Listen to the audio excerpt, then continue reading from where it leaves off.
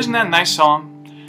I had to practice that hard. I learned that a long time ago, but I had to really work at it. And I reached the sound barrier. All that hard work paid off. I was able to perform that in front of some people, and my sisters sang uh, the vocal line. It was, a, it was a great moment. And I wanted to encourage you about this idea of the sound barrier. Right now, your fingers might be a little tender from pressing down the strings, and maybe your fingers are also sore from stretching, and your thumbs sore from gripping the neck of the guitar.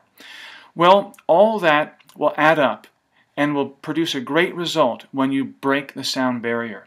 After you've learned these first four chords and have learned the strumming patterns and put it together in a song, you realize that you can play the guitar. And that all the other chords that we have to learn coming up, you'll be able to learn them too. You see, you're going to develop patience and you're going to develop a, a vision of how hard work pays off. And not only is this good for playing guitar, the guitar, it's also a great thing for life. That's why studying an instrument is a wonderful thing you can do for yourself.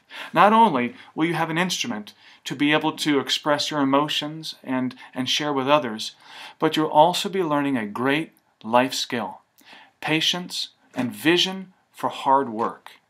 So keep learning until you break that sound barrier. And when you do, you'll learn it's all worth it. Keep going.